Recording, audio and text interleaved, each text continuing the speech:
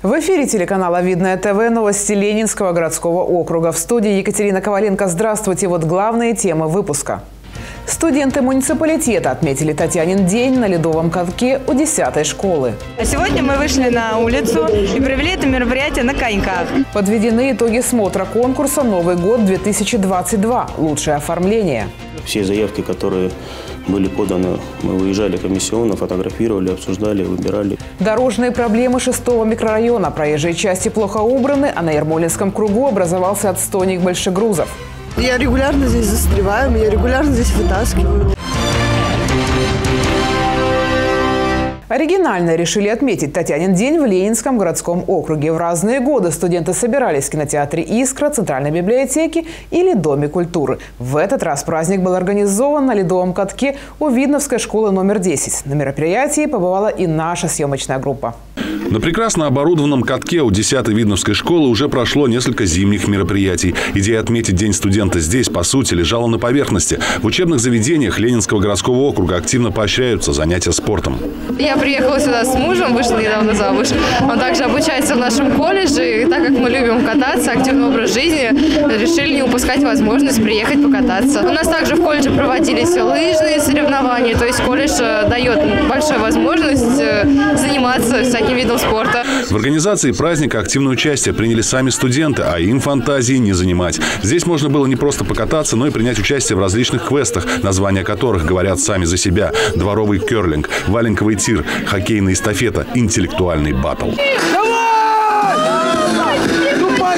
Миссия науки вызывает вас на интеллектуальный баттл. А справа от главного входа мы здесь. Посетил мероприятие и глава Ленинского округа Алексей Спасский. Он сделал несколько кругов по катку, после чего началась официальная часть. Плюс-минус в этих 20-х числах января заканчивается сессия.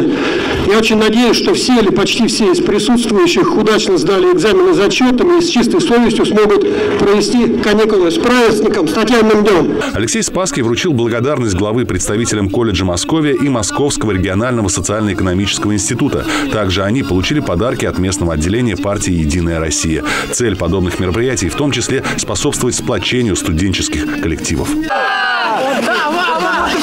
Настроение отличное. Пришли сюда с группой, чтобы повеселиться, покататься на коньках, ну, типа, дружить коллектив, можно так сказать. Такие общие праздники, да, всегда вместе. Даже собираемся даже вне колледжа вместе. Мы собираемся, катаемся там по городу в Москве, там красиво очень, ну так далее. Справлять Татьянин день в Ленинском городском округе давняя традиция. В разные годы в Видном студенты собирались в кинотеатре «Искра», Центральной библиотеке или Доме культуры. Нынешний праздник призван внести в эту традицию новые веяния.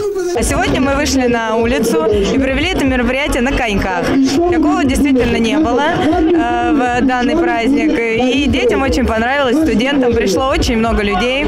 Э, и они все катаются, вы видите, все за здоровый образ жизни. Закончилось мероприятие традиционно дискотекой. Правда, в этот раз студенты танцевали на коньках. Максим Козлов, Александр Логинов, Екатерина Давлятова. Видное ТВ.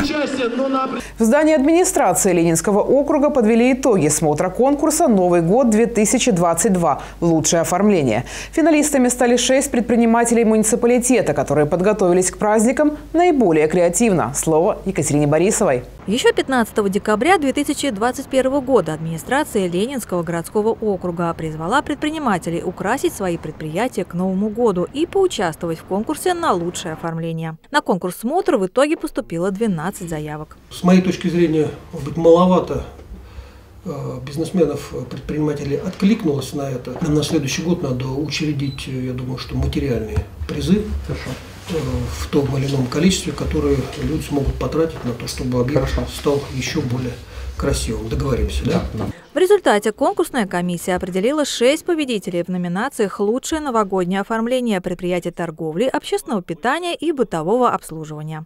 Их пригласили на торжественное награждение в администрацию муниципалитета. Все заявки, которые были поданы, мы выезжали комиссионно, фотографировали, обсуждали, выбирали и выиграли достойные. Приятно то, что оценили наши усилия, наши труды и наградили. Это такое мотивационный такой правильный ход со стороны администрации. Мне захочется еще больше украсить. Точнее, мне уже хочется на следующий год украсить там еще больше. Владелица мастерской букета в шестом микрорайоне Маргарита Степанова уже шесть лет украшает свой салон не только к каждому Новому году, но и к другим праздникам. Говорит, часто люди заходят просто полюбоваться убранством и необычным декором, а в итоге становятся постоянными клиентами. Каждый год на Новый год у нас разный цвет. В этом году выбрали золотой. У нас был золотой Дед Мороз э, говорящий. Вот, э, все украшаем э, я и моя мама. Бизнес нужно строить так, чтобы он э, был красивый э, и э, в него вкладывать. Все предприниматели заверили, что и дальше будут делать свой бизнес красивее, а также с удовольствием примут участие в конкурсе в следующий раз. Екатерина Борисова, Сергей Ларин, Екатерина Давлятова, Видное ТВ.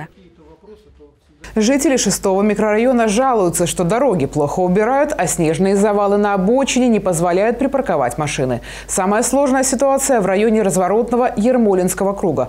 Чтобы узнать, как сейчас обстоят дела, по адресу выехал наш корреспондент Дмитрий Книга. В этом году зима выдалась как никогда снежной, что доставляет большие проблемы и неудобства всем жителям, в том числе и автомобилистам. В социальных сетях люди жалуются на недостаточное количество парковок в шестом микрорайоне. С наступлением зимы проблема стала еще острее. Теперь автомобили здесь паркуют, где придется. Сейчас круг, связывающий Ермолинскую Калиновую улицы, очищен от снега, но еще несколько дней назад очевидцы замечали, что он превратился в отстойник для большегрузов. Паркуются, когда легковые автомобили, понять можно. Честно, понять можно. Но фуры откуда здесь берутся, непонятно. Вот. Да, это проблема. Рядом с кругом работает платная парковка, однако, по словам местных жителей, она уже заполнена и водителям приходится искать свободные места на близлежащей территории. Все обочины заняты автобусами. Дополнительную нагрузку создают торговые палатки, шиномонтаж и кафе, находящиеся поблизости. Вот здесь маршрутки стоят, автобусы, машинам некуда встать, фуры. Они становятся, им тоже некуда встать. Никому здесь некуда встать. Тем временем движение здесь становится все более интенсивным с каждым годом. Трафик увеличивается не только в связи со строительством новых домов, но и с развитием городской дорожной сети. В прошлом году открылся выезд из шестого микрорайона на трассу М4 Дон, а сильные снегопады лишь усугубляют обстановку. Я регулярно здесь застреваю, меня регулярно здесь вытаскивают. Поставить машину негде совершенно. Я приезжаю домой поздно, я круги мотаю, конечно. Дорожные службы убирают накопившийся снег, но это не решает глобальную проблему с парковкой на данном участке и создает предпосылки к образованию пробок. Дмитрий Книга, Александр Логинов, Екатерина Давлятова, Видное ТВ. В Видновской детской школе искусств прошел концерт под названием «Вспоминая Рождество». На сцене малого зала выступили учащиеся органного класса и отделения духовых инструментов. Юным талантам аплодировала Наталья Буслаева. За богатую звуковую палитру орган неофициально называют королем музыкальных инструментов. О его уникальных возможностях зрителям, пришедшим на концерт, рассказала преподаватель детской школы искусств Наталья Литюк. Трубы органа а, могут издавать совершенно разные звуки. Они могут имитировать инструменты оркестра, например, флейты, причем разных видов, гобой, фагот, трубу, они могут э, сочетаться и объединяться в такие созвучия, которые будут э, имитировать даже э, звучание камерного или даже симфонического оркестра. Наталья Летюк – участница многочисленных международных фестивалей органной музыки. Концертную деятельность совмещает с преподаванием. Самая юная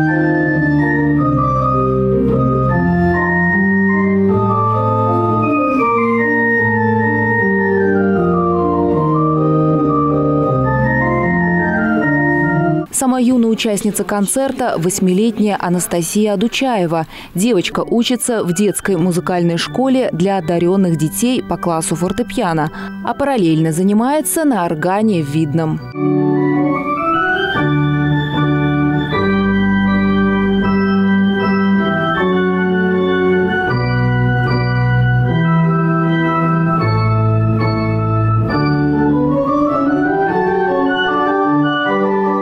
Также в рамках концерта «Вспоминая Рождество» на сцене выступили ученики класса духовых и ударных инструментов.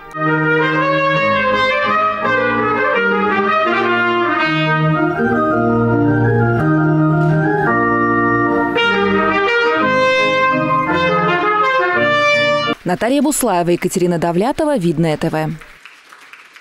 И это все новости на сегодня. С вами была Екатерина Коваленко. До новых встреч!